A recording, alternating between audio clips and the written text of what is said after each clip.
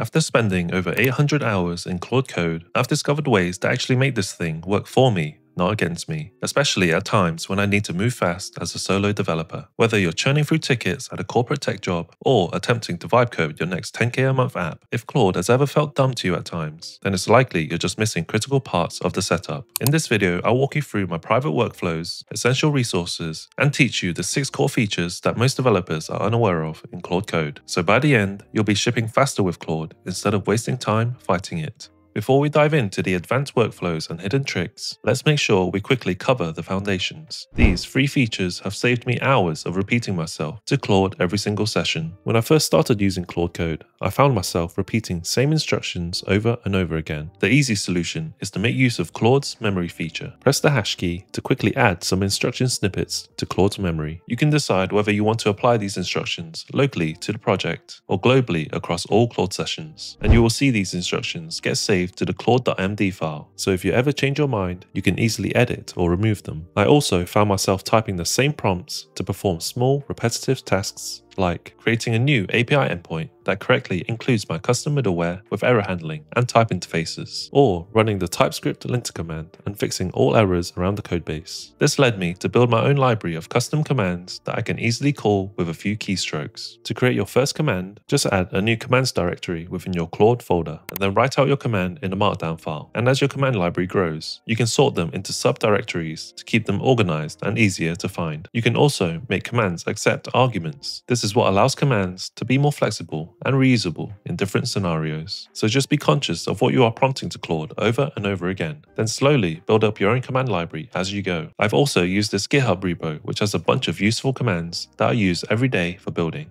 In the early days of building with Claude Code, one of my biggest frustrations was making sure it references the latest documentation when building new features or debugging errors, especially with frameworks and libraries that are constantly being updated. But as you know, AI assistants are only as good as their training data, and forcing it to use web search to fetch the latest data wasn't reliable either. This is where MCP servers come in, specifically one that I use every day called Context 7. It's essentially a service that allows Claude to reference the most up-to-date documentation documentation for the most popular coding libraries. And this alone has saved me hours constantly having to Google search and copy and paste the latest docs into my prompts. Now, I can just rely on Context 7 as a centralized source for when I need the AI to reference any kind of documentation. And to use it, you just have to add two words into your prompt. Use Context 7 and Claude will automatically call the server to fetch the latest docs whenever it needs to. And you might be asking, what exactly are MCP servers? To explain it simply, just think of it as a way to connect AI agents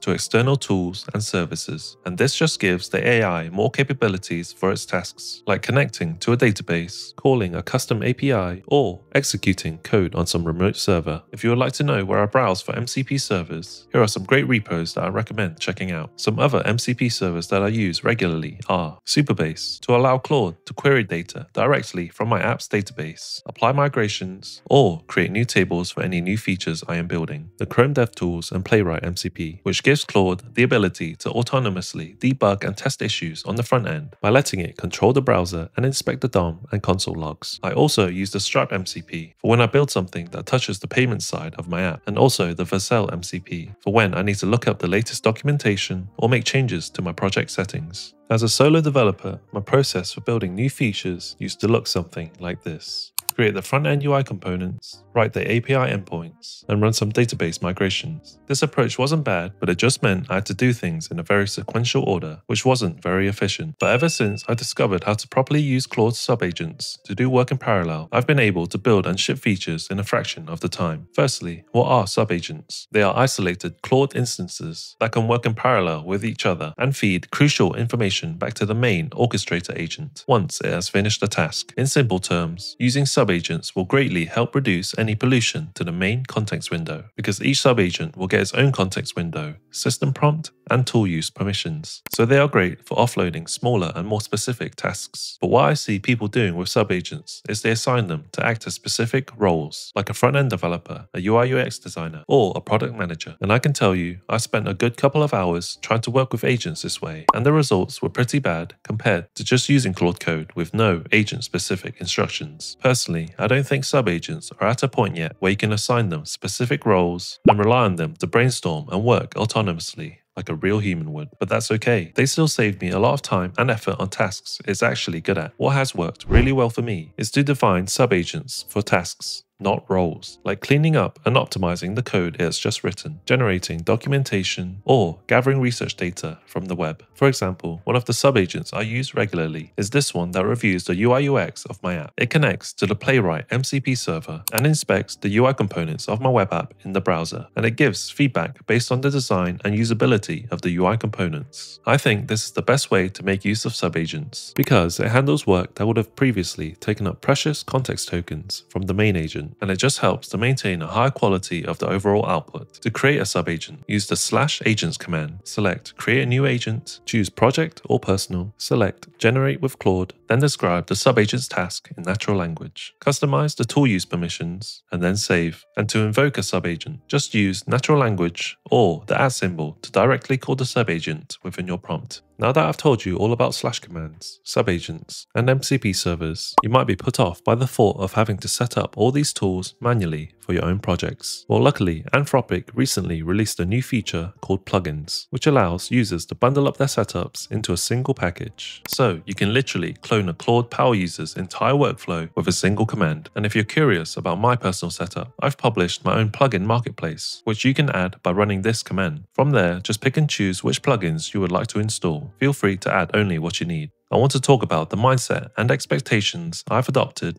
when working with AI to build apps. Because after spending hundreds of hours of trial and error using AI to help with coding tasks, I found these are the things that have given me the biggest productivity boost. Garbage in equals garbage out. If you can't write a prompt that clearly instructs the AI on what to do, then you don't actually know what you want. And the AI definitely won't either. I found learning some basic prompt engineering has forced me to break down my problems into smaller pieces, which also clarifies my own thoughts in the process. Or if the idea is still vague in my mind, I will use Claude's plan mode to have a quick Q&A session and make it ask me clarifying questions so we can be on the same page before I let it write any code. AI generates code, but humans own it. Before pushing to production, just start a new session with the AI, asking it to review the code on the files it's recently touched. Don't let the AI make you lazy about the fundamentals like security, performance, or error handling, because given enough time, if you keep ignoring these things, it will eventually lead to vulnerabilities and bugs if you don't constantly review it. Speed means nothing if your app is buggy or insecure. So, these have been my top tips for getting the most out of Claude Code when building apps as a solo developer. Let me know what you think, and I'll see you in the next one. Bye bye.